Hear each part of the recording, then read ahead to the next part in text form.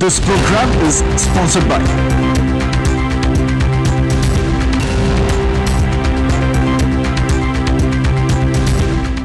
रूप मंत्रा Ayurvedic face wash ये कोई कॉस्मेटिक नहीं।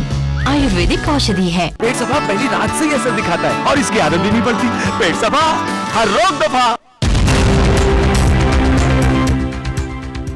दिल्ली के जांगीरपुरी में हुई हिंसा पर मंत्री विश्वास, कैलाश सारंग का बयान का हिंसा दुर्भाग्यपूर्ण और मंत्रियों का ट्वीट का नतीजा।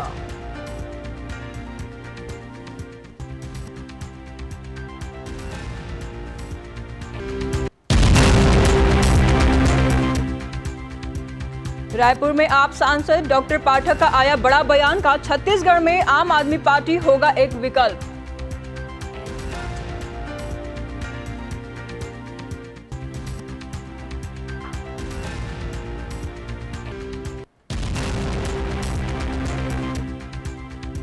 छतरपुर में पुलिस के ऑपरेशन प्रहार से अपराधियों के उड़े चैन, अवैध अतिक्रमण पर चला बुलडोजर।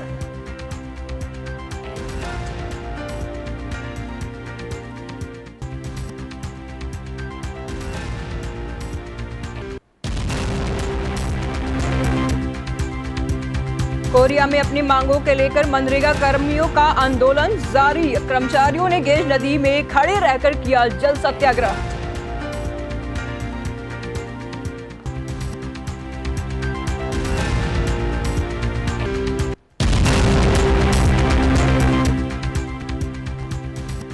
छतरपुर के वन विभाग के चौकी की रक्षा, भगवान भरोसे, फर्नीचर और फिटिंग का सामान ले उड़े चोट देखते रहे कर्मचारी।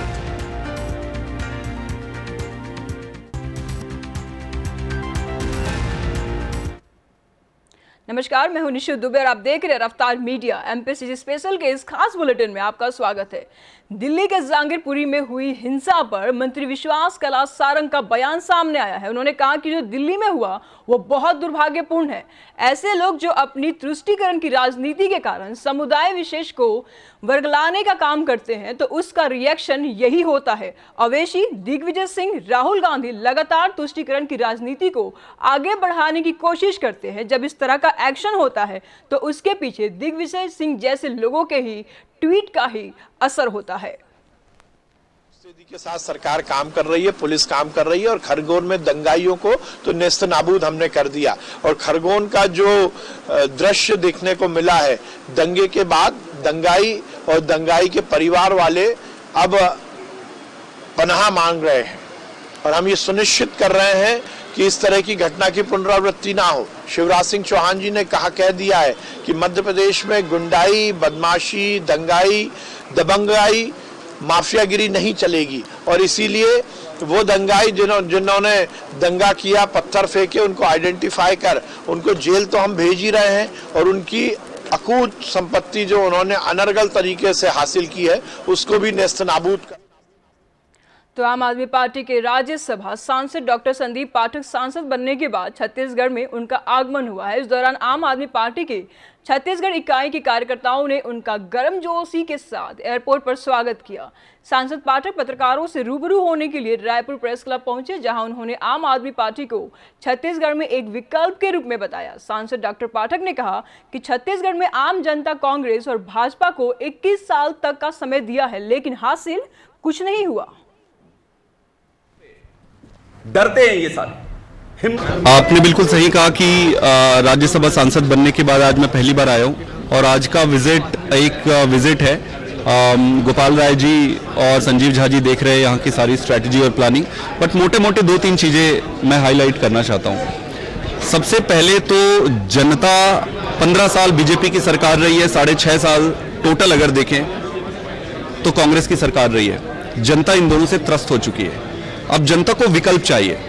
अब विकल्प के रूप में आम आदमी पार्टी ने पहले दिल्ली में और अब पंजाब में प्रूव किया है। तो कल का जो सिनारियो था, जो आप कह रहे थे, आज वो सिचुएशन और सिनारियो बदल गया है। जनता के पास ट्राइड एंड टेस्टेड मॉडल है। तो स्ट्रैटेजी बनाएँगे सही समय पे, काम शुरू हो गया है और वो इंपॉर्टेंट नहीं है। इंपॉर्टेंट ये है कि आज जनता केजरीवाल जी पर भरोसा करती है और उतना तो सिंगरौली में इन दिनों भीषण गर्मी को लेकर कांग्रेस के पूर्व जिलाध्यक्ष युवा नेता प्रवीण सिंह चौहान ने कहा कि जिला औद्योगिक इकाइयों से घिरा हुआ है, जिस कारण से यहाँ का तापमान अत्यधिक रहता है और वर्तमान में ज़िले की सरकारी और प्राइवेट स्कूल संचालित हो रही है, जिससे आए दिन छोटे बच्चे लूह और डिहाइड्रेशन की चपेट में आ रहे हैं।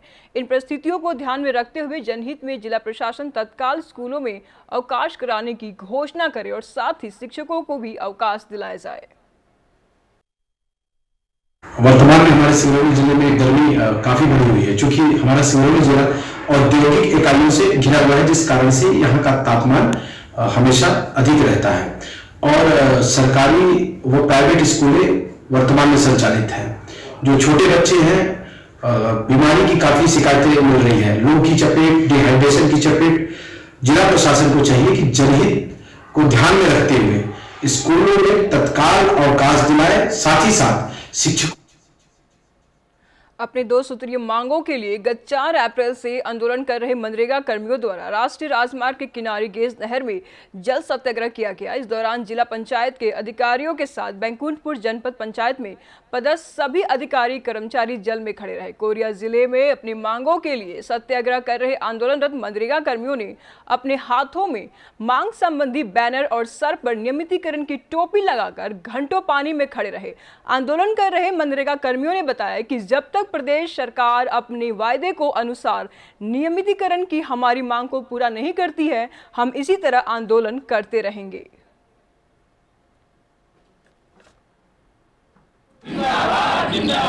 हमको परमानेंट करो। आज करो अर्जेंट करो। हमको परमानेंट करो। नहीं किसी से भीख मांगते। हम अपना अधिकार मांगते। अधिकारी मनरेगा, जिला पंचायत कोरिया। ज़िले के सभी अधिकारी, कर्मचारी अपने दो सूत्री मांगों को लेकर के हड़ताल में हैं। हम सभी छत्तीसगढ़ शासन द्वारा जो उन्होंने अपने मैनिफेस्टो में वादा किया था कि हम 10 दिन के अंदर में आपका नियमितीकरण करेंगे और तीन साल बीत जाने के बाद अब तक उनके द्वारा कोई कार्रवाई नहीं की गई है, जिससे निराश होकर के, हताश होकर के हम सभी तेरह दिनों से हड़ताल हमारा जारी है। हम सभी हड़ताल पर हैं और आज हमने जल सत्याग्रह आंदोलन किया, जिसमें हम समस्त मनरेगा कर्मी यहाँ जल समाधि लेकर के और अपनी दो सूत्री मांगों को लेकर के घटित हुए हैं। और यह हड़ताल हमारा तब तक जारी रहेगा जब तक हमारी मांगे राज्य शासन द्वारा पूरी नहीं की जाती हैं, तब तक हम अपना हड़ताल जारी अब वक्त हो चला एक छोटे से ब्रेक का फ़ौरन लौटेंगे